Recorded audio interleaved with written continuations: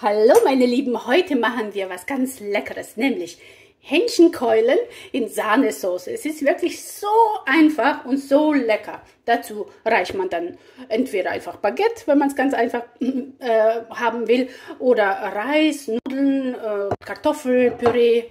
Sehr, sehr lecker. So, und jetzt zum Rezept. In etwas Pflanzenöl brate ich erstmal die Hähnchenkeulen von allen Seiten an.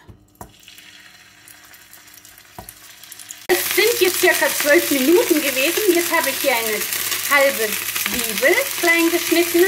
Und gleich hinterher noch Knoblauch. Viel Knoblauch. Das darf jetzt alles mal hier mit anbraten.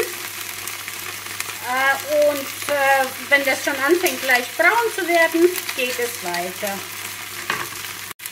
Auch die Zwiebeln und Knoblauch bekommen schon Farbe. Jetzt gebe ich Sahne hinein. Salzen. So, Pfeffer. Paprika edelsüß.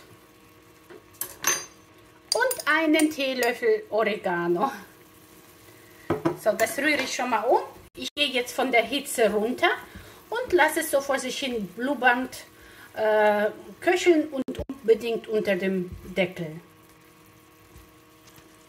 15 Minuten waren das jetzt nochmal. Ich habe das jetzt ausgeschaltet. Die Soße ist schön cremig, viele Gewürze, lecker. Jetzt fehlt nur noch was Grünes, Petersilie, klein geschnittene Dill, Schnittlauch, äh, ja, was ihr habt. Super. Mm, das duftet auch so lecker.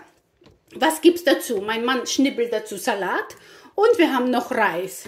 Ähm, Reis ist ganz lecker, wenn man den, bevor man den kocht, ähm, etwas anbrät in etwas Öl und dann mit Wasser übergießen und etwas Salz und bei ganz, ganz sachter Hitze äh, erwärmen. Oh, lecker, Freunde. Ganz, ganz lecker. Es schmeckt ganz anders durch diese angebratenen ähm, Reiskörner.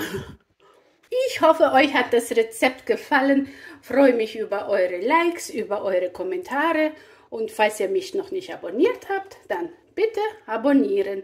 Vielen Dank und bis bald. Eure Xenia. Mhm.